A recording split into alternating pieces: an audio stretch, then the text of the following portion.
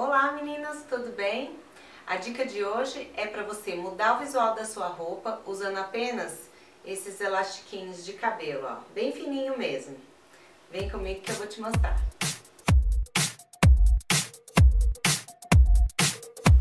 O blazer é uma peça-chave no nosso guarda-roupa, concordam? Eu pelo menos uso muito.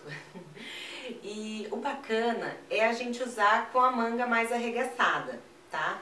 Por quê? Pra mostrar um pouco mais de pele, deixar um blazer mais feminino, né? E outra coisa, essa parte do nosso corpo, ela é mais fininha.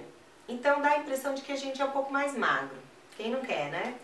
E aí a dica bacana é você colocar o elastiquinho aqui, eu já tô com o meu aqui, ó, tá vendo?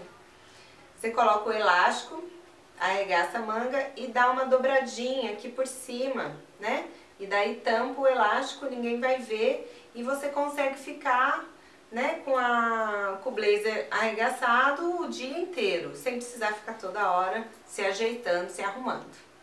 Outra dica bacana para usar o elástico são para essas calças mais molinhas, estilo calça pijama, é, com tecidos fluidos, uma calça é, que seja assim reta, mais com tecido fluido, né? Que seja molinha. Amarre o elástico na ponta, deixando ela meio aladinho, assim meio bufante. Fica lindo com salto ou rasteirinha também, que daí dá pra você usar dos dois tipos.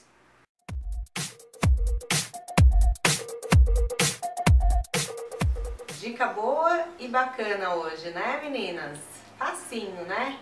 Então é isso, se gostou do vídeo, dá um gostei pra gente, tá? Que isso é muito importante pra gente saber se vocês estão gostando ou não das dicas de moda que a gente tá dando.